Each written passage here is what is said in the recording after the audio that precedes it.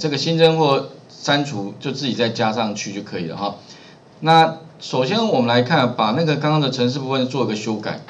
那我改哪些地方哈？其实原来的部分是这这一些。那特别注意就是说哈，因为呢我们会有跨工作表的问题，所以特别注意，以前写的习惯是只有写到 range，因为没有指定的话。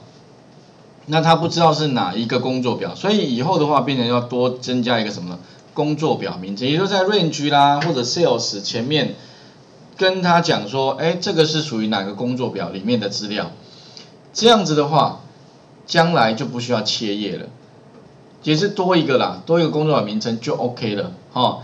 那这样的话呢，我们就可以做工多个工作表，以后反正你就这样做就 OK。那我做了哪些变化？第一个，我先加入什么呢？加入回圈啊，不过回圈 i j 已经被用掉，那干脆我用 s 好了。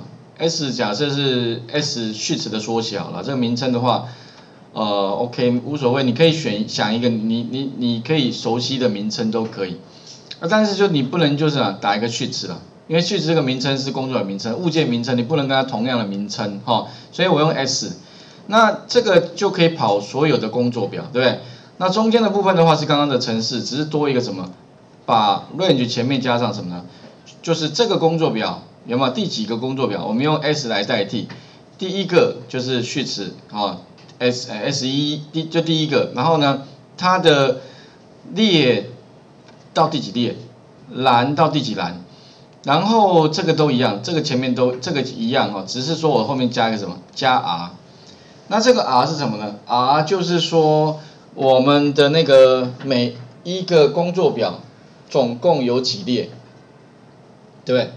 总共有几列？你要第一次不用嘛？第一次不用知道，但第二次之后要补在第一第一个的工作表的总列数的下面嘛？所以哈，这个 r 的意思就是说要加几列的意思。那第一次 r 预设值是零好了，好，假设预设值零，那这样的话呢，它的位置第一次一定会跟怎么呢？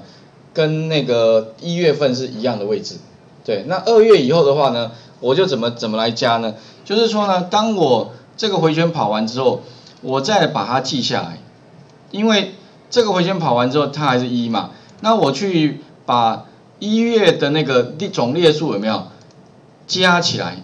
那加的话就是 r r 等于 r，假设有三十一列的话，那就是把三十一加起来。那下一次要补的话，它就会加在三十一的